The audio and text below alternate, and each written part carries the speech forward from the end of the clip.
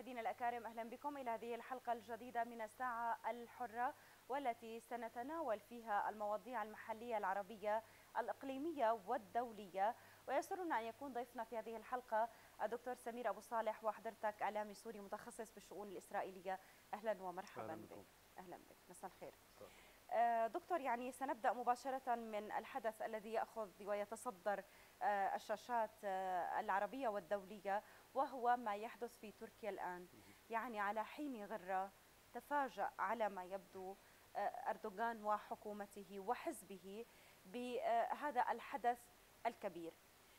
قيل بأن الحكومة التركية تراجعت عن بناء المجمع الذي كانت آه، ستبنيه في ساحة تقسيم أن تلغي ساحة تقسيم وتبني وتبني بدلا منه مجمع. آه هذا المجمع هو مشروع آه مركز سوق وملاهي تسوق وملاهي وملكية هذا المشروع يعني للمصادفة تعود إلى يعني مستثمرين قطريين وأفراد من عائلة أردوغان. يعني تراجع عن بناء هذا المشروع ولكن الشعب ما زال يتظاهر ما زال يتظاهر في الشوارع ليست فقط في إسطنبول وإنما في الكثير من المحافظات والمناطق التركية وبأعداد يعني بكل تأكيد لم تفاجئ أردوغان فقط بل فاجأت الكثيرين ومن ضمنهم ربما نحن تفاجأنا بما يحدث. يعني السؤال الذي يطرح نفسه هل القصة هي قصة تجمع تجاري أم هي قصة حكم ديكتاتوري تجمع تجاري آه، اقتصادي أردوغاني يحصره بديكتاتوريته؟ آه، الواقع ونحن نترحم على أرواح شهدائنا من شهداء الجيش العربي السوري والشعب السوري الأبي. نحيي أيضا أبطال قواتنا المسلحة وهم يسطرون آيات جديدة من النصر والفخار لهذا الوطن ولمواطني هذا الوطن. لأنتقل إلى السؤال وبداية من منذ آه، أو من حيث انتهيت في تساؤلك الدقيق جدا وهو هل الموضوع هو فقط موضوع آه، ساحة وسوق تجاري ومنشآت سياحية أم أن للواقع للموضوع أبعاد أخرى منها ما هو مزمن وهو ومنها ما هو مستجد. الحقيقة إذا ما حاولنا معرفة آه، الأسباب إن صح التعبير ونتوقع آه، ما سيأتي من هذه الأسباب لابد لنا من أن نقرأ التاريخ ولو قليلا إلى الوراء لكي نستقرئ الحدث القادم. في العودة إلى التاريخ التاريخ القريب جدا أي أقله منذ أن استلم أردوغان وحزب العدالة مقاليد الحكم في تركيا يتضح لنا من خلال آه، هذه المراجعة السريعة أن آه، هذه الولادة لهذا الحزب كانت ولادة قيصرية وكذلك هي ولادة غير شرعية لسببين طبعا اثنين. اولا أن الحزب هذا حزب العدالة والفضيلة هو أتى على أنقاض أحزاب كانت موجودة سابقا وهو خرج من رحمها. لذلك أنا قلت هي ولادة قيصرية. لم تكتمل حتى التسعة أشهر على هذه الولادة كي يكون المولود على الأقل في أفضل وضع لديه. ثم هل هو في ال 2001 على ما نعم هو في أعتقد ولد؟ 2001 ثم أن من ترأس واستلم دفة هذا الحكم بعد الانقلاب إن صح التعبير الذي ساهمت فيه السلطة السابقة لكي يأتي أردوغان. أيضا هذا الوليد كان وليدا مشوها. بمعنى هو حاول منذ البدايات أن يرفع لواء الإسلام. بمعنى أنه يريد أسلمت الدولة. وأي إسلام هذا؟ طب أنت تريد أسلمت الدولة. الدولة التركية هي دولة مسلمة في الأساس. ولكن ما أثار حفيظة أردوغان وكل هذا الحزب أقله في قياداته الحديثة أن هذه العلمانية التي أتى بها كمال أتاتورك منذ عام 1923 لم ترق لهؤلاء المتسلقين على السلطة فما كان من أردوغان إلا وانتهز الفرصة المناسبة لكي ينقض على ما تبقى من الحزب إياه الذي قصدته أنا عندما كان نعم. نعم. الرئيس السابق آه، لهذا الحزب وتسلمه فيما بعد كما قلنا أردوغان والرئيس الحالي ومن ثم تقاسم السلطة. طيب أردوغان رفع لواء الأسلمة إن صح التعبير ولكنه في نفس الوقت هو لم يستمر في الدولة المسلمة بمعنى أنه أراد وجود نظام إسلامي ديكتاتوري مبنيا على الأصولية الإسلامية وليس على العلمانية في الإسلام. نعم. ولم يبقي من ذلك إلا صورة الزعيم المؤسس اتاتورك في مكتبه كخلفية ديكور يستخدمها للواقع آه، غش الشعب ان صح التعبير ولأغراض إعلامية أخرى. هذه هذا الاستعراض السريع آه، مر بمراحل مختلفة والظروف والأحداث حبلت بإمكانيات التغيير بمعنى العلماني أراد أن يغير لأن في ذلك مصلحة لصالحه المسلم المعتدل وهم كثر في تركيا وهم أغلبية الشعب التركي نعم. لا يريدون التطرف هم لا يريدون آه، استخدام الإسلام كورقة لتحقيق الغايات ولكن الإدارة الأمريكية ومن ثم الإدارة الأطلسية ككل والإسرائيلية آه، حاولت كما تحاول الآن في الأنظمة العربية أن تأتي بعتات المتطرفين. بمعنى هي لا تقبل حتى في الوسطية. من هو الأضعف في هذه الحلقة؟ التركية المتكاملة هم الزعماء الجدد الذين يبحثون فعلا عن من يساندهم أو على الأقل من يسهل لهم المهمة نعم. فتم الإملاء على أردوغان يعني من بابه العريض. أولا يجب أن تكون تركيا في عصرك تركيا المسلمة المتشددة. ولذلك لاحظنا كيفية التواصل مع الإسلام المتشدد ولا سيما مع الوهابية في السعودية على حساب التيارات الإسلامية المعتدلة والصحوية إن صح التعبير في الأنظمة القريبة بشكل أو بآخر حتى من تركيا وبداخل تركيا.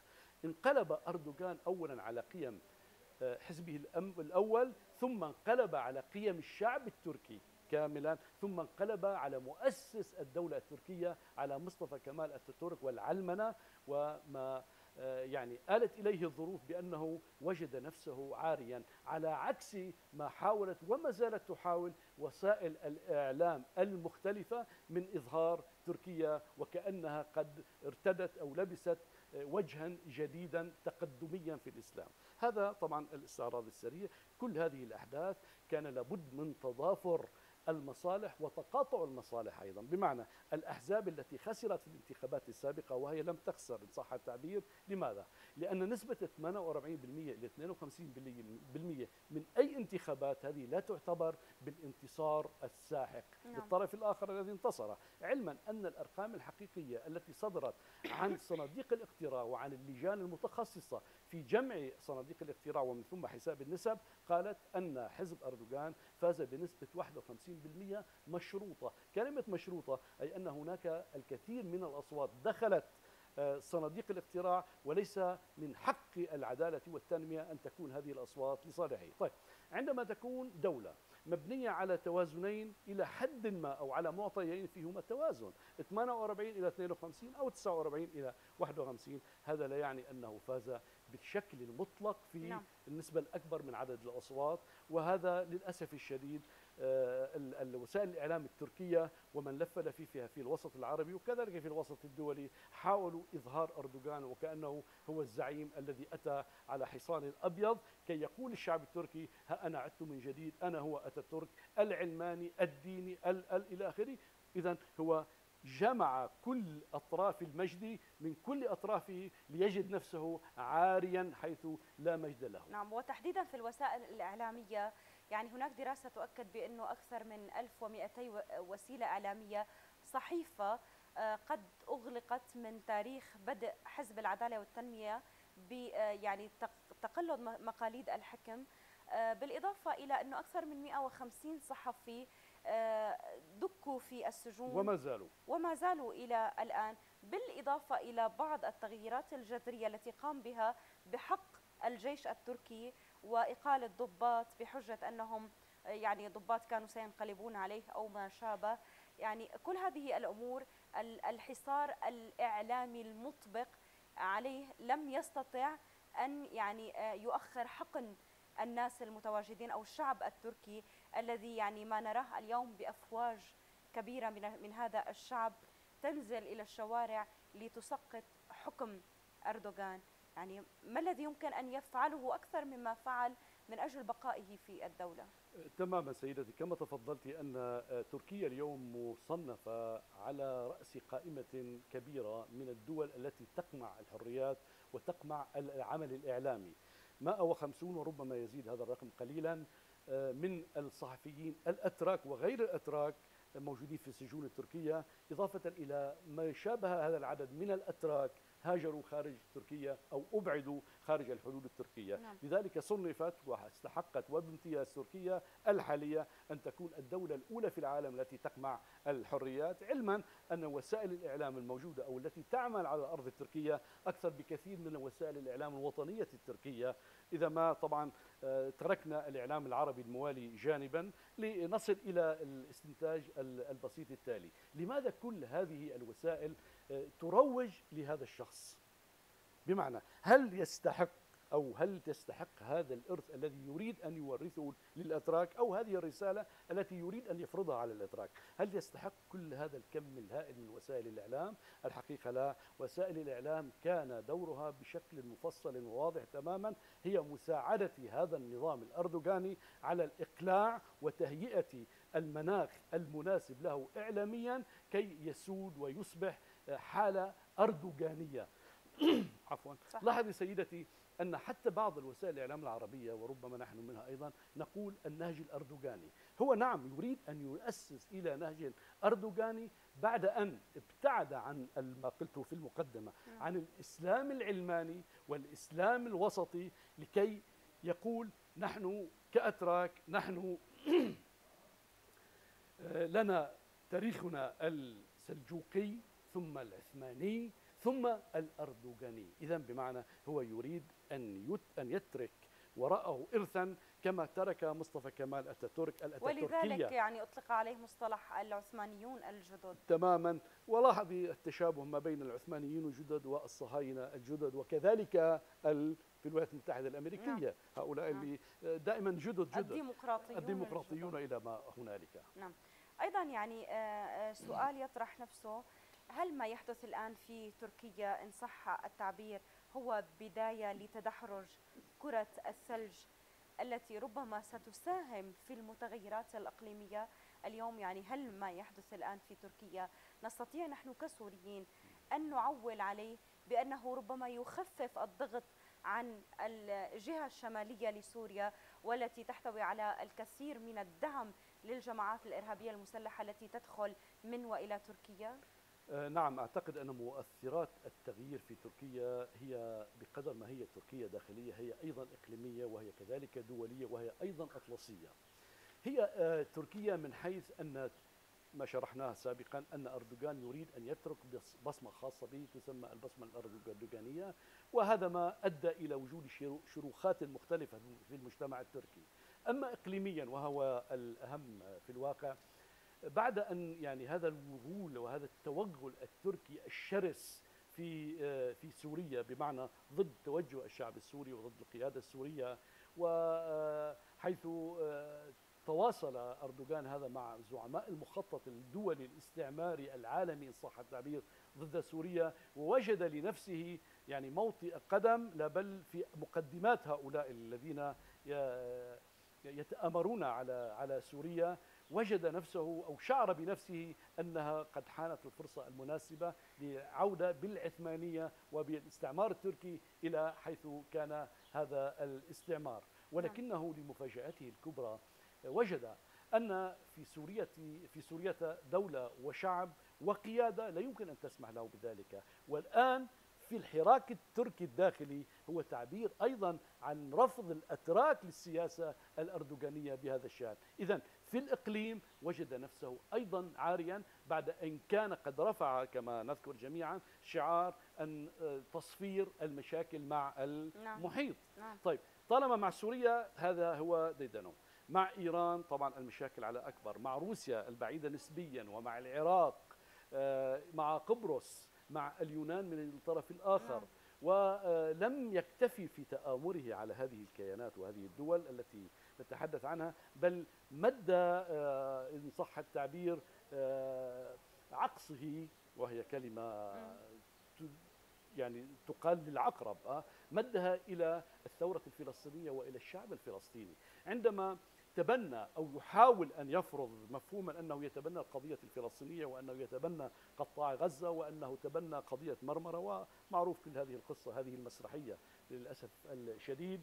إذا هو أيضا يلتف على من؟ على قضية العرب الأولى يلتف على البوصلة الأولى للأمة العربية والأمة الإسلامية وهي قضية فلسطين هو تمكن من إبعاد بعض الفصائل الفلسطينية المقاومة فعلا وأخذها أو حرفها إلى زواريب أخرى ليبعدها وليحيدها أصلا عن آه، يعني مسار الصراع الحقيقي في هذه المنطقة وأنا أقصد هنا طبعا نعم. حركة حماس وبعض الحركات الأخرى. كان ذلك بفعل من أردوغان إضافة إلى شركائه في نفس المخطط المشروع في قطر والسعودية وبعض الدول يعني العربية في الحقيقة أيضا. ما كان يظهر لنا خلال السنوات السابقة الماضية بأن أردوغان استطاع أن يدخل تركيا في آه، كعاشر دولة آه، اقتصاديا. آه، علما أنه هذا الأمر تبين لاحقا أن وسائل الإعلام هي التي كانت تضخم هذا الموضوع. ولكن على ما يبدو أن الواقع غير ذلك بدليل يعني أن القضية في تركيا الآن ليست قصة رمانة إنما القلوب مليانة مثل ما بيقول المثل. إذا يعني كل هذه الغشاوة داخليا عربيا دوليا اقليميا حتى أصبحت مكشوفة. هل نستطيع أن نقول بأن الاتحاد الأوروبي كان كاشفا لسياسة أردوغان منذ البداية بدليل أنه دعا سوريا في نهاية المطاف إلى الدخول في الشراكة الأوروبية في الوقت الذي تركيا إلى هذه اللحظة وهو يعني يقبل الأيادي من أجل أن يدخلوه في الاتحاد الأوروبي والاتحاد الأوروبي يرفض ذلك. أشكرك تماما يعني طرق باب هذا الملف الاقتصادي السياسي وهو هام جدا في تكوين الشخصية الأردوغانية. هلا من المعروف عالميا وحتى في إحصائيات اقتصادية أن كما تفضلت أن الاقتصاد التركي آه، انتقل نقلة نوعية خلال العشر سنوات الماضية وأخذ يعني موقعا جديدا في مصاف الدول المتقدمة أو المتطورة آه، حتى صناعيا أو تجاريا إلى آخره بمعنى المعنى الاقتصادي بشكله العام كإنتاج وطني وكأيضا تصدير من هذا الإنتاج الوطني. ولكن الحقيقة تشير إلى ما هو عكس ذلك تماما. الاستثمارات التي ركب على حصانها أردوغان هي استثمارات بمعظمها يهودية أمريكية ويهودية أوروبية ويهودية إسرائيلية. ودليلي على ذلك آخذه أو يمكن أن أثبته في الصحافة الإسرائيلية. كتبت دعوت أحرنوت حول هذا الموضوع حول سهل آه، سهل الاناضول وعلى فكرة سهل الاناضول هو جزء لا يتجزأ من سوريا الطبيعيه نعم. يعني هي معلومة.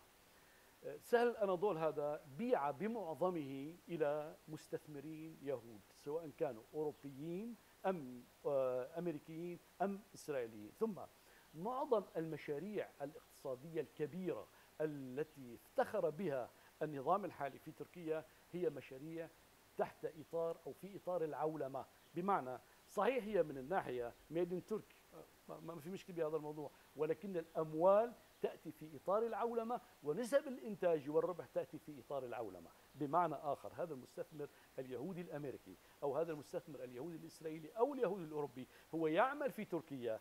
ناتج هذا العمل من الناحية الدعائية للاقتصاد التركي نعم موفر له ولكن الحقيقة أنه آه، هذا الإنتاج ليس للشعب التركي والدليل على ذلك أن نسب الفقر في تركيا خلال هذه السنوات هي في تصاعد. لو أن الأمر عكس ذلك كان يجب أن يكون العكس. ثم نعم. سمحت إسرائيل لبعض الشركات التركية في استثمار في الاستثمار بالمجهود الحربي الإسرائيلي. هذه معلومة.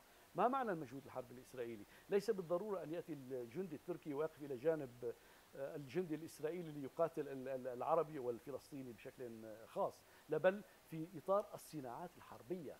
شركة تديران الإسرائيلية وهي شركة مخصصة في الإلكترونيات العسكرية لها لتركيا أسهم في هذه الشركة. وهنا يعني كمان معلومة آه، ذكرت في آه، هآرتس أن تجديد تعمير الطائرات التركية من طراز فانتوم وأف 15 وأف 16 يأتي آه، يكون في إسرائيل بموجب عقد مبرم بين الطرفين وستدخل من جديد بعض الآلات الإلكترونية المشتركة ذات الصفة المشتركة ما بين الدولتين في هذه آه، أسلوب تعمير الطائرات نعم. الحديثة إذا هذا الاقتصاد الذي قيل عنه أنه حقق آه، يعني نسب عالية الواقع هو اقتصاد عالمي عولمي وليس اقتصاد تركي يعود الفضل فيه آه، لأردوغان الآن للسوق الأوروبية المشتركة لماذا السوق الأوروبية المشتركة حتى الآن ترفض دخول تركيا بين دول السوق نعم. هناك من يقول أن العنصرية الأوروبية ترفض ذلك سيما وأن الدولة التركية هي دولة, دولة مسلمة. إسلامية. قد يكون هذا بعد حقيقي وأنا لا أستبعد أبدا لا بل في هناك إذا لماذا. دعت سوريا إلى الدخول في الشراكة الأوروبية وسوريا رفضت؟ مع أن سوريا دولة علمانية ومسلمة. تماما. هنا ما ما أريد أن أعقب عليه أيضا. اذا أس أنا هنا طالما أن الموضوع بهذا الشكل إنه عنصريه ال- الأوروبيين ضد الإسلام لما كان سمحوا أو حاولوا السماح نقول لسوريا. ولكن جر سوريا للمحفل الأوروبي كان له ثمنا باهظا فيما لو تم ولكن وعي القيادة السورية وانكشاف المخطط القياده السورية ذات النفس ال- ال- الطويل جدا آه، أفشل هذا المشروع الأوروبي ولم يخسر السوريين أي شيء بدأت سوريا في استعداد حقيقي لهذه المشاركة وكثيرا ما نعم. جرى الحديث حول الموضوع ولكن بحذر شديد أما في بالنسبة للأتراك مدت الدول الأوروبية لتركيا إن صح التعبير بسا- بساطين. البساط الأول كي تمشي عليه تركيا باتجاه الأوروبيين أن تنفذ المشاريع الأطلسية العسكرية في المحيط في الإقليم. إذا العسكرية الأطلسية. ثانيا أن تكون السند الأول لإسرائيل في مخططاتها في المنطقة. هذا ما يفسر لنا دخول الطائرات الإسرائيلية لقصف ما سابق في نعم. سوريا عن طريق الممر التركي, التركي نعم. نعم. في ثم الزور ما قالوا أنه مفاعل نووي. ثم موضوع المياه وإقامة السرود على آه، النهر الشريان السوري إن صح التعبير. أيضا هو مشروع إسرائيلي أمريكي تركي مشترك.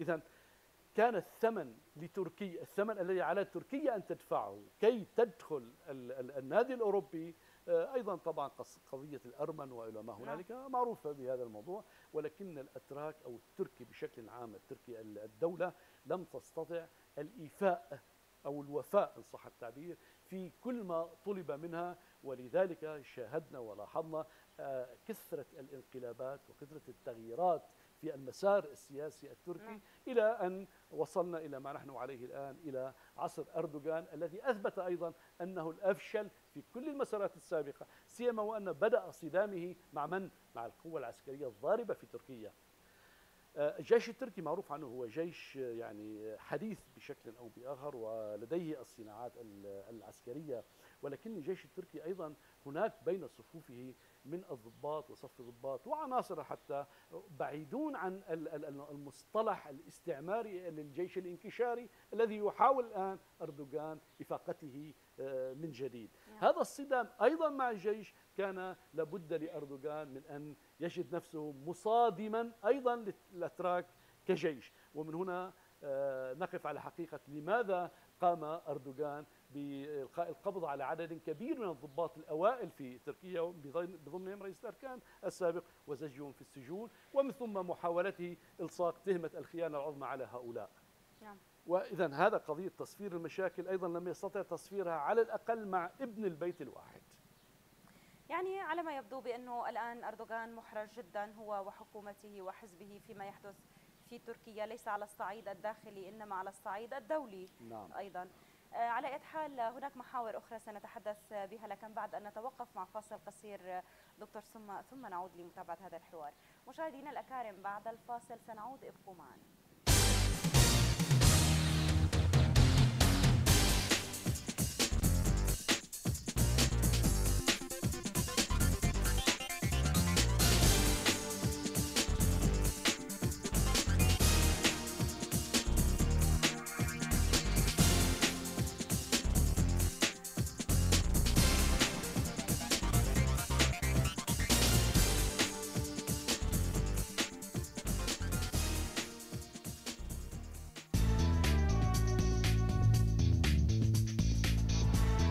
الدنيا بدقيقة دقيقة واحدة.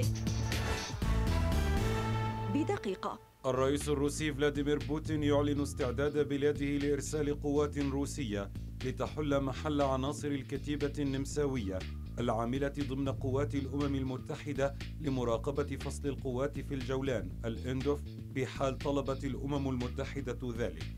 وسلطات الاحتلال تفتعل حريقا كبيرا في الجولان المحتل على مشارف قرية الحرية في القنيطرة وإعادة الأمن والاستقرار لقريتي المسعودية والصالحية بريف القصير الشمالي والقضاء على إرهابيين في حلب وريف دمشق بينهم متزعم ما سمي لواء التوحيد.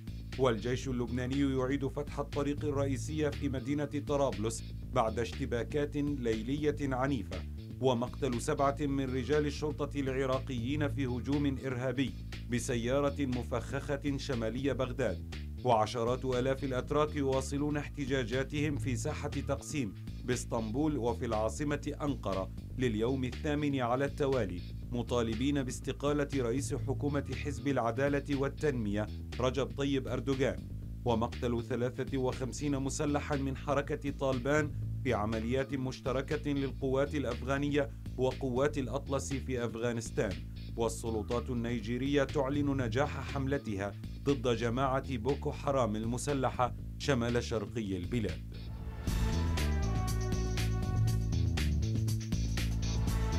أخبار الدنيا بدقيقة دقيقة واحدة. بدقيقة.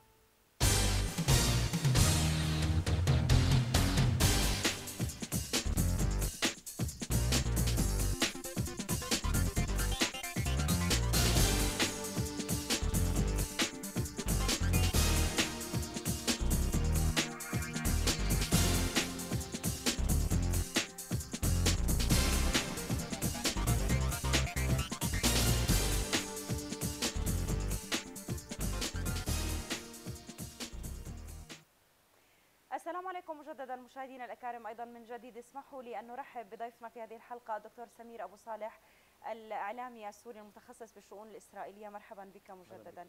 ولو أنه يعني الإعلامي المتخصص بالشؤون الإسرائيلية عليه أن يكون عربي آه إن لم نقل يعني يعني إسلامي بشكل عام على اعتبار بأنه يفترض أن تكون القضية المسلمين الأساسية هي فلسطين يعني كما يعول دائما على أنه البوصلة الحقيقية هي فلسطين وبالتالي طرد هذا الكيان الغاصب من آه يعني آه أولى القبلتين وثالث الحرمين إن صح التعبير. آه سنتحدث الآن عن يعني ما تم الترويج له بشكل كبير عن صواريخ إس 300 وما قيل بأنه هذه الصواريخ أتت لم تأتي يعني تعددت الأمور ولكن المتفق عليه بأنها إما أتت وإما ستأتي ولن تلغى هذه الصفقة على أي حال. ولكن يعني صفقة اس 300 الروسيه تذكرني يعني هذه الصفقة إلى سوريا تذكرني بالمناظر التي نشاهدها كنا في السينما قبل بدء عرض أي فيلم. يعني كان دائما هناك عناوين براقة يقولون قريبا قريبا جدا العرض القادم. يعني مجرد مقاطع للإثارة دون معرفة المحتوى الحقيقي لهذه الصفقة بشكل عام أو لهذا الفيلم إن كنا نتحدث عن مثال. في النهاية يعني تأتي استراحة هذا الفيلم لننسى ما عرض وبالتالي يعني نتوقع ربما تفاهة هذا الفيلم. يعني هل اس 300 هي فعلا قادرة على خلق توازن حقيقي توازن رعب مع الكيان الغاصب الإسرائيلي أم أنه هي يعني جزء صغير من هذه الحرب التي على التوازن أن يكون كبير فيها ولا يعتمد فقط على السلاح وأنواع السلاح. ما رأيك؟ سيدي وفاء يعني كما تعلمين أنا لست يعني خبيرا في مجال التصنيع العسكري أو في السلاح أو العسكر بشكل عام. وأنا أعرف أنك تعرفين ذلك ولكن سؤالك يطرح الواقع الكثير من الهموم. يشعر فيها المواطن السوري يرددها يريد أجوبة عليها. طبعا هذا يعني تعكسين بصدق وبوضوح حقيقة يعني هذا النبض السوري في هذا الموضوع. من المعروف تماما أن سوريا منذ عام 1947 وحتى تاريخه تتعرض لعدوان مستمر لم يتوقف على الأقل من قبل الكيان الإسرائيلي.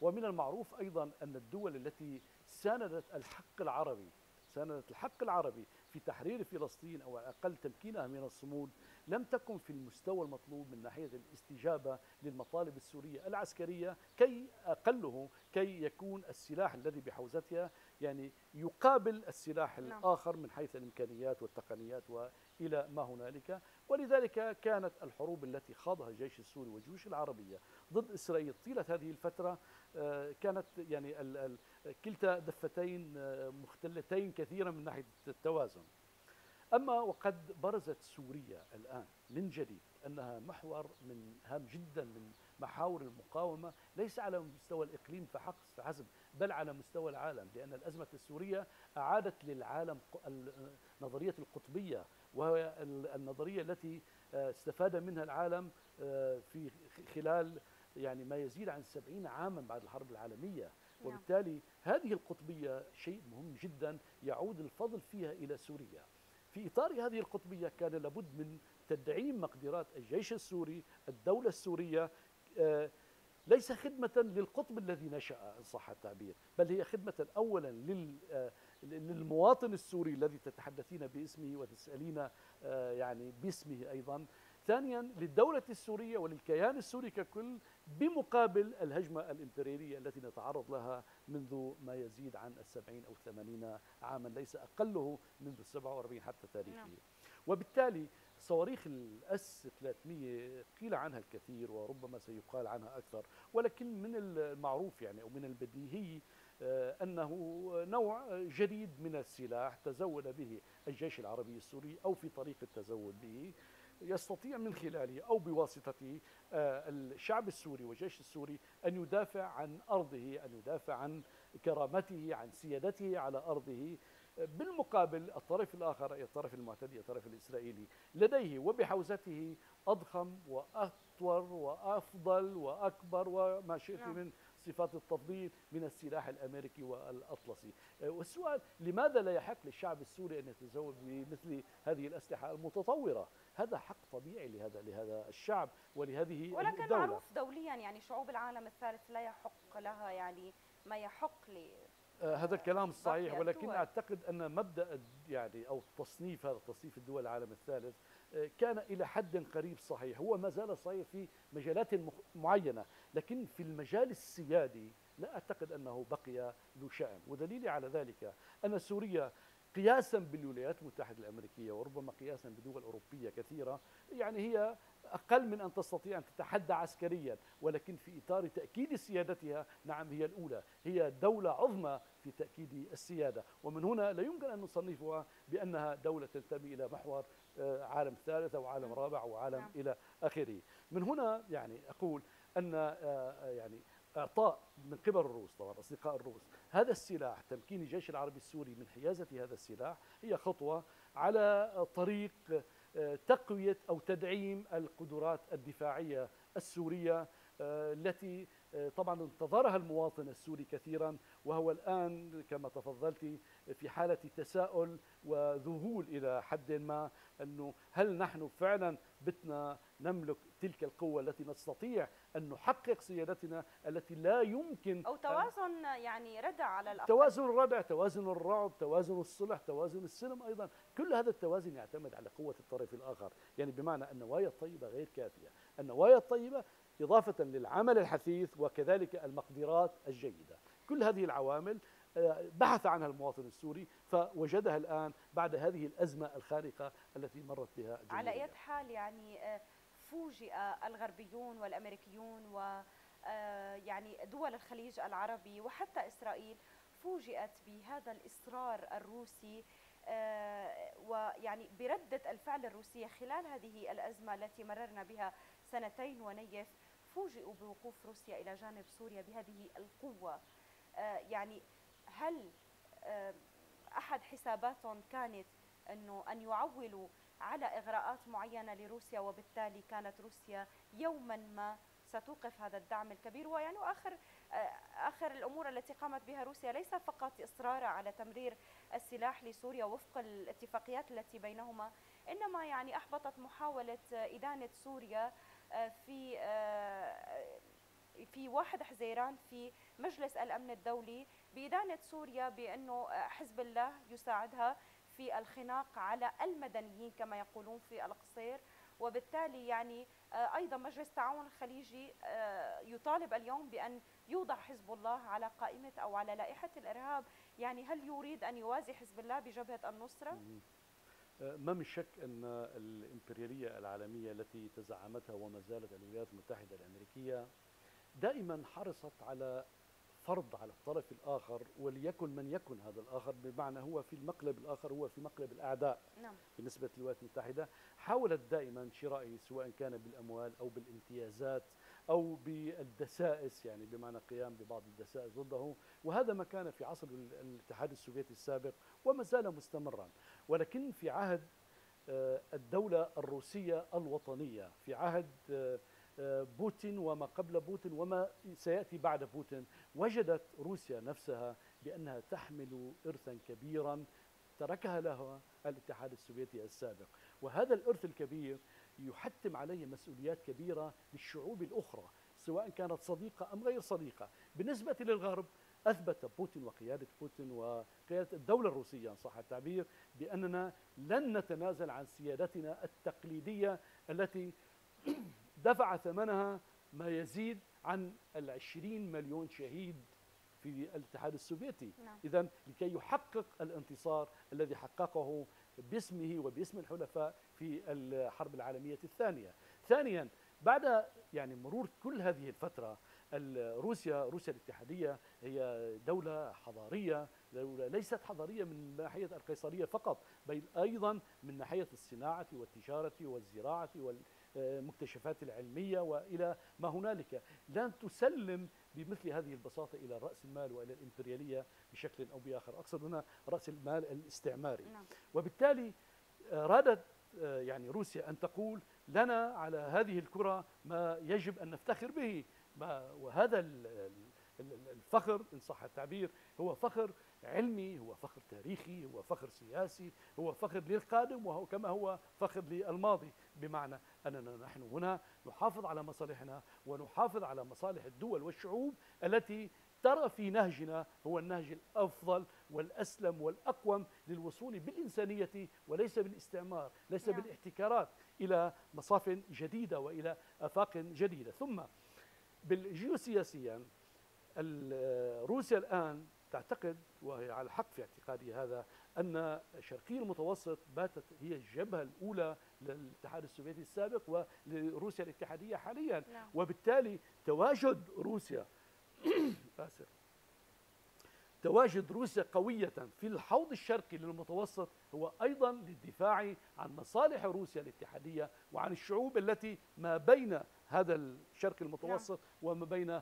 روسيا في الظهر كان يقال بأن روسيا يعني تبحث عن المياه الدافئة وتعتبر يعني وجودها في المياه الدافئة والتي هي البحر المتوسط أنه هي بالنتيجة يعني عامل أمان واستقرار بالنسبة لروسيا من كافة النواحي وأهمها الاقتصادية صحيح منها. تماما لكن هذا موضوع المياه الدافئة نعم كان موضوع الخطوط البحرية نعم. والنقل وإلى آخره كان هو يعني الذي يدعم فكرة المياه الدافئة الآن آه، ما هو أخطر بكثير من قضية المياه الدافئة الكيان والسيادة.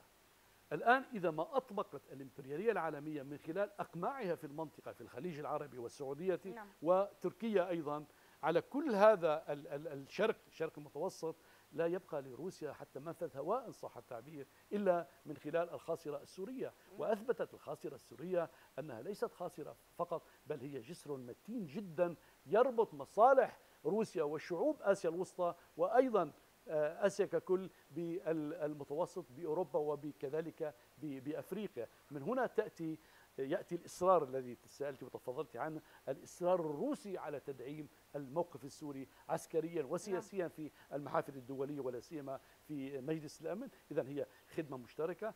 يقوم بها الصديق اتجاه صديقه وبالمقابل يحقق من خلال هذا الموقف أيضا مكاسب ذاتية هو يبحث عنها وهو من حقه. إذا نستطيع أن نقول بأن سوريا استطاعت آه، أن تحقق ما لم يكن في الحسبان لا الأمريكي ولا كل دول تماماً الاستكبار والاستعمار من هنا بهذه العلاقة الاستراتيجية تماماً القوية تماماً. التي يعني لا تتحدث عن مصالح آنية وفقط بين وبين روسيا إنما يعني بنت علاقات ربما سيكون عمرها عشرات السنين إن لم نقل مئات السنين. وهذا الذي لم تستطع أن تفهمه دول الاستكبار والاستعمار؟ للتدليل على ما صحة ما تفضلت به عندما رفع السيد الرئيس مبدأ البحار الخمسة. تذكري ربط البحار. نعم ربط البحار. الإعلام الغربي والأوروبي بشكل عام آه، يعني تناول هذا الحدث بشيء من السخرية. بمعنى دولة من دول العالم الثالث آه، الرئيس الأسد آه، يحاول يعني أن يظهر بمظهر الدولة العظمى. لا في الحقيقة نعم هو طرح من دولة من دول العالم الثالث ولكن لا يطرح هذا الطرح إلا الكبار. وترجم الآن رغم يعني انفراد هذا العقد نسبيا بعد ما حصل في تركيا وإلى آخره ولكن الفكرة كفكرة محورية أساسية الآن هي تترجم بشكل فعلي أقله بين طرفين من البحار الخمس بين سوريا وبين وروسيا. روسيا وهذا هو كان عامل المفاجأة بالنسبة للولايات المتحدة الأمريكية وأوروبا الأطلسية وهو ما يفسر الدعم اللامحدود والدعم اللامتناهي من الولايات المتحدة الأمريكية والأطلسي لتركيا مؤخرا حيث نعم. صواريخ الباتريوت كان الاتحاد الأوروبي حتى مجرد التفكير بنصب منظومة للصواريخ الباتريوت في تركيا مرفوض وإن كانت هي دولة من دول الأطلسي نعم. كحلف أطلسي عسكري تصوري اذا نعم ضخامة الفكرة ترجمت أقله حتى الآن في طرفي من الأطراف الخمسة. فما بالك لو أن اكتمل هذا العقد وفعلا كان هناك بوجود دول البريكس وأمريكا اللاتينية طبعا طبعا. هي ظهير هي ظهير وظهير مهم جدا. وغير الكثير من ما الدول في شك التي ما في شك هي ظهير مهم جدا. نعم. آه، أيضا يعني آه، عندما نتحدث عن جبهة النصرة عندما تدرج هناك رأي يقول بأنه آه، هل إدراج جبهة النصرة على لائحة الإرهاب هي لتخويف جماعات ما يسمى بالجيش الحر من الانضواء تحت لوائها. يعني آه، بات واضح مؤخرا بأن الولايات المتحدة الأمريكية لا تريد لما يسمى الجيش الحر أن ينضوي تحت لواء آه، جبهة النصرة علما أن جبهة النصرة كانت هي الأقوى على الأرض أقوى مما يسمى الجيش الحر وجماعاته. آه، بدليل أنه الكثير من من هؤلاء في البدايات قد انضووا تحت لواء جبهة النصرة خصوصا بعد إعلانها بانتمائها الأساسي لتنظيم القاعدة. إذا كانت هي الأقوى على الأرض وبالتالي لأنهم ضعفاء انضووا تحت لوائها حتى يستقووا بها على الجيش العربي آه، السوري. آه، عندما الولايات المتحدة الأمريكية لا تريد لهذه الجماعات أن تنضوي تحت جبهة النصرة آه، وتوابعها هي آه، كانت تريد بذلك ضمان. هل هي فعلا كانت تريد بذلك ضمان عدم أخذ سوريا باتجاه أفغانستان؟ يعني آه، و- أو بالأحرى أفغنت سوريا نتيجة تخوف الولايات المتحدة الأمريكية من القاعدة وبالتالي ليس فق- فقط تخوف الولايات المتحدة بل همس الكيان الغاصب الإسرائيلي في أذن الولايات المتحدة أنه قد ما كانت جبهة النصرة لا يمكن أن نؤمن لها في المنطقة بدليل بأن يعني آه، عضت الأيدي التي أطعمتها مرات عديدة وفي الولايات المتحدة نفسها. آه، سيدتي آه، فيما يتعلق بالقاعدة وجبهة النصرة وكل ال- الفئات التي دخلت للأرض السورية بهدف إسقاط النظام بين قوسين أي نعم. بهدف تقسيم سوريا وإنهاء سوريا وإنهاء دورها الحضاري والتاريخي والموروث والقادم أيضا. مهما اختلفت التسميات واختلفت التعابير؟ كان هناك مايسترو يقود كل هذه ال- ال- الفرق والعصابات والأحزاب والفئات وإلى آخره وهو المايسترو الأمريكي والمعتمد طبعا على أذرعته في هذه المنطقة تركيا دول الخليج قطرائيل وإلى ما, ما هنالك. الآن وأن أعلنت الولايات المتحدة الأمريكية رسميا بأنها أدرجت آه، جبهة النصرة تحت قائمة ال- المجموعات الإرهابية. آه، يعني ربما أن ذلك يعني من رأى به خطوة أمريكية تدعو للتفاؤل.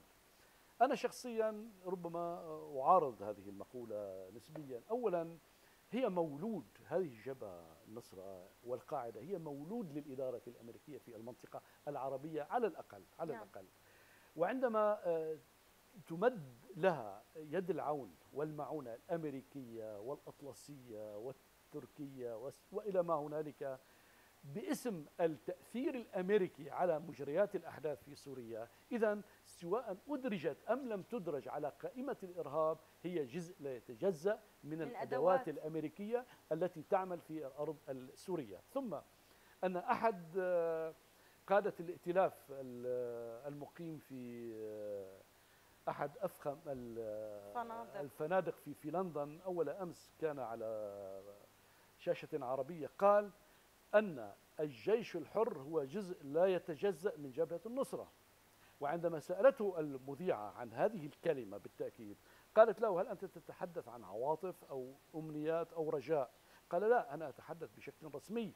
نحن وجبهة النصرة نحن كائتلاف وجبهة النصرة والجيش الحر الذي الذين نعمل على الأرض السورية نحن جزء لا يتجزأ من مشروع.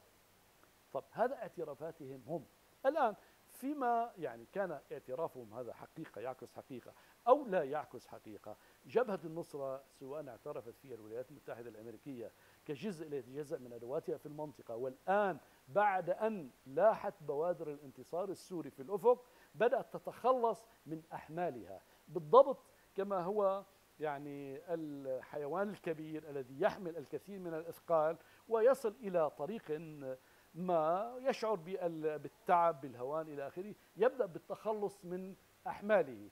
خوفا على ماذا؟ خوفا على نفسه من أن يكشف وينكشف تماما ويعرى أمام الآخرين. يعني آه، دائما معروف آه، عن السياسة الأمريكية تحديدا بأنهم لا يتدخلون ولكنهم يتورطون تماما. آه، بكل ما يفعلونه أو يكون ولكنه يكون- تورط المحسوب نعم. تورط المحسوب هو ليس تورط صدفة. تورط محسوب تماما ومحسوب خط الرجعة. بمعنى بلحظة ما بتوقيت ما نستطيع أن نقول نعم نحن براء من هذه الفئة أو تلك الفئة. وهذا ما حدث مع النصرة إذ كيف يمكن أن يفسر سيدتي إذا الس- ضعف جبهة أن النصرة وقوة الجيش العربي السوري على هذه الجبهة وعلى جميع الجماعات الإرهابية المسلحة هو من جعل الولايات تماماً. المتحدة الأمريكية تماما آه، تماما أن تجعل منها تماما على لائحة تحقيق الإرهاب. الانتصار السوري بفضل الجيش العربي السوري هو ما جعل الولايات المتحدة الأمريكية تبدأ بتفعيل إن صح التعبير مبدأ الانسحاب إلى الخلف في اللحظة المناسبة آه، ثم آه، يعني هناك بعد آخر موضوع ال- التنسيق وجبهة التنسيق ومجموعة نعم. التنسيق في في إسطنبول وإلى آخره هيئة الدوحة هيئة نعم، التنسيق نعم. وال- لاحظي- العامة للثورة انسحبت من الائتلاف. تماما. لاحظي بدأ الإعلام يتحدث عن تفكك ما. الواقع هذا التفكك يعني هو هو تفكك عضوي يعني بمعنى هو ليس تفكك في مواقف سياسية. كلهم متفقون على ال- ال- الخطوط العريضة. الدولة السورية نعم. ولكن التفكك العضوي القائم يعود من أسبابه الهامة جدا هو ما ما قامت به الولايات المتحدة الأمريكية. بأن تقول أن جبهة النصره هو- هم جزء لا يتجزأ من قائمة أو من قائمة الإرهاب و- وإلى آخره. معروف ال- الكلاشي إياها ولكن في الحقيقة ما زالوا الكل آه، يعني يعزفون بنفس الأدوات الأمريكية ووفق ما وضعه لهم قائد الكو- الكورسترا الأكبر نعم. أوباما في البيت الابيض ما رأيك بالورطة الذي وقع فيها جون ماكين عندما آه، كان في زيارة لتركيا وبالتالي آه، زار بعض الجماعات الإرهابية المسلحة في شمال سوريا؟ وقد كشفت عنه إحدى الصحف الأمريكية وقالت بانه المس... الأشخاص الذين كان يقف معهم في الصور التذكارية هم نفسهم من ضمن الأشخاص الذين قاموا بخطف اللبنانيين. وبالتالي يعني من يقف مع إرهابيين ويتحاور مع إرهابيين بالقانون الأمريكي يعني هو يخضع للمساءلة وللاتهام المباشر. وبالتالي يعني أيضا آه، أهالي وذوي الأشخاص المخطوفين اللبنانيين رفعوا دعوى على نعم. نعم. جون ماكين. ما رأيك بهذه الورطة الذي وقع فيها؟ الواقع هي ورطة وراءها دافع المغامرة أو عامل المغامرة. جون ماكين لما كان جندي يخدم كأمريكي في فيتنام أيضا أقدم على مجموعة عمليات يعني يندى لها الجبين وهي تفوق أي مجزرة من المجازر التي ارتكبت سواء كان في سوريا أو سواها في أحد ال- الأودية بالقريب من سايكون أمر جون ماكين قواته في قصف هذا الوادي الذي يعيش فيه ما يزيد عن مليون ومئتين ألف فيتنامي. تصوري تصور أي مجزرة في التاريخ أقدم عليها مكين الآن مكين هذا بعد إخفاقه الأول وإخفاقه, الثاني في الترشح لل- للرئاسة الأمريكية ربما يحضر الآن لترشيح آخر ولانتخابات جديدة ولمغامرة جديدة ولكن في هذه المرة على حساب الدم السوري وليس الدم الفيتنامي هذه الورطة التي يعني تورط بها آه، جون ماكين أعتقد وأنت تعرفي نظرية الكاوبوي الأمريكية يعني بالنسبة له هذه بطولة ولكن بالنسبة للقيم الإنسانية آه، التي لا تؤمن بها الولايات المتحدة الأمريكية أو أقله الإدارات الأمريكية نعم. لا تؤمن بهذه القيم أعتقد لا يقف عندها كثيرا جون ماكين في هذا الموضوع وحتى ليس القانون الأمريكي بحد ذاته لو أن قانون أمريكي آه، يعني يعاقب على مثل هذه نعم. القضايا الإنسانية لكان قد آه، يعني في آه، بوش الإبن والأب على نعم. سبيل المثال لم. يقصروا في حق الشعب العراقي من من من, من نفس ما, ما يقوم به مكين الآن ثم هو يريد أن يبحث لنفسه عن يعني موطئ قدم جديد في الأحداث الدراماتيكية في الشرق الأوسط. سيجد نفسه كما الكثيرين قبله وكثيرين ربما سيأتون بعده بأنهم يعني out of the game. تماما ولن ينالوا من التورتة حتى وإن كان جزءا صغيرا منها لأن الجيش السوري والشعب السوري أثبت من جديد أنه هو المنتصر والسيادة هي السيادة السورية. نعم. يعني آه، سأذهب إلى سؤالي الأخير. يعني بقي لدي حوالي الأربع دقائق. وفيه شجون كثيرة ولكن يعني باختصار شديد آه، لاحظنا مؤخرا كيف أن القرضاوي يعني ما زال إلى هذه اللحظة يخرج ويحرض الشعوب الإسلامية للاقتتال فيما بينها بحجة الطائفية وما إلى ذلك. يعني السؤال الذي يطرح نفسه آه، آه، هناك من يقول بأنه إذا كنا نخشى على القيم الدينية والأخلاقية من نص رخيص أو مشهد خلاعي فالأجدى بنا أن نبحث في ضعف التمسك بتلك القيم لدى حامليها. بمعنى حاجة نحن نلقي اللوم على القرضاوي وتوابعه مهما كان له يعني مهما كان إمعة كبيرة. آه، لماذا لا نلقي اللوم على أنفسنا؟ لماذا دائما نلوم من يحرضنا؟ لماذا لا نلوم أنفسنا أننا لم نربي الأجيال آه، آه، في أوطاننا العربية وبلداننا العربية على أن. على الت- التمسك بالقيم الدينية؟ ليست بهذه الطريقة التي يتبعوها المشايخ المتأسلمون في هذه الأيام واقع جوابي على ما تفضلت به كامن في آه، شرحك للسؤال القيم. نعم لماذا نحن قصرنا في بناء يعني جيل قادر على أن يحكم على الأمور من أولوياتها أو مما يرتسم عنها قبل أن آه، تصبح امراضا اجتماعية. يعني القرضاوي أم غيره من هؤلاء المهرجين آه، أكيد هم يقومون في أداء عمل موكل إليهم وهم بجدارة استطاعوا ذلك. ونعم وهم فتكوا ولكنني لهؤلاء في هذا الإطار على الأقل أحيلهم إلى المطران عطله حنا وأحيلهم إلى الشيخ صلاح أبو عرفة. عندهم الجواب الكافي والوافي الذين آه، هؤلاء يعني هاتان القامتان كبيرتان في في تاريخنا العربي والفلسطيني يعني يعطي آه، جواب كافي وافي عن للقرضاوي أو سواه. ولكن البعد الذي تفضلت به وهو بعد جد مهم في في في بناء الذات العربية في بناء الذات الإسلامية. طيب إذا كان القرضاوي قادر على أن يبث هذه الكمية الهائلة من السموم في ذهنية المتلقي العربي سواء كان رجل دين أم علماني أم إلى ما هنالك هذا لأنه لا- غير محصن هذا المتلقي هو غير محصن بالأساس لو كان محصصا في مدرسته لو كان محصنا في بيئته في مجتمعه أكيد يعني اختراعات وفبركات من هذا القبيل لن تمر ربما أن البعض سيسقط في منتصف نعم. الطريق كما يقال ولكن الأغلبية على الأقل لديها أو عندها الجواب ولكن لاحظي معي يعني سيدتي. الشيطان معروف أنه براء من أخطائنا تماما صحيح أم لا تماماً، يعني تماماً. أمام الله الشيطان بريء من أكيد، أخطائنا أكيد. ولو أنه يوسوس نحن الشياطين في أخطائنا وليس الشيطان ب- يعني هو المذنب فيه لأن لماذا؟ لأن لم نحصن أنفسنا عندما نحصن آه، أنفسنا بدءا من المدرسة أو بدءا من البيت ثم ننتقل إلى المدرسة والجامعة والجامع والكنيسة وإلى ما هنالك آه، نجد لدينا الأجوبة جاهزة على مثل هذه الفبركات والترهات نعم. ولكن للأسف الشديد هذا السؤال القيم جدا الواقع يعني يحيلنا إلى سيكولوجية الإنسان المقهور في هذا الوطن بشكل أو نعم. باخر ويحيلنا أيضا إلى البرامج البرامج الدولة ال- البرامج الرسمية وكذلك إلى البرامج الدينية في الجوامع والبرامج الدينية في الكنائس لأن هذه الذات العربية تحتاج إلى يعني جرعات دائمة ليس قضية إيمان فقط. الإيمان بمعنى الصلة القائمة ما بين هذا العبد هذا المخلوق هذا الإنسان وربه بغض النظر عن هوية نعم. هذا الرب أو هوية هذا العبد. هذا هذا هذه قضية خاصة هي قضية بين آه، يعني متلقي ومعبود. اسمح لي فقط هنا بنقطة. الرب ليس له هوية هو يعني رب لكل الأديان ولكل شك ما في شك الأديان ما في شك السماوية يعني بكل تأكيد. أنا أقصد بالتصنيف المذهبي أو نعم. بالتصنيف الطائفي. نعم.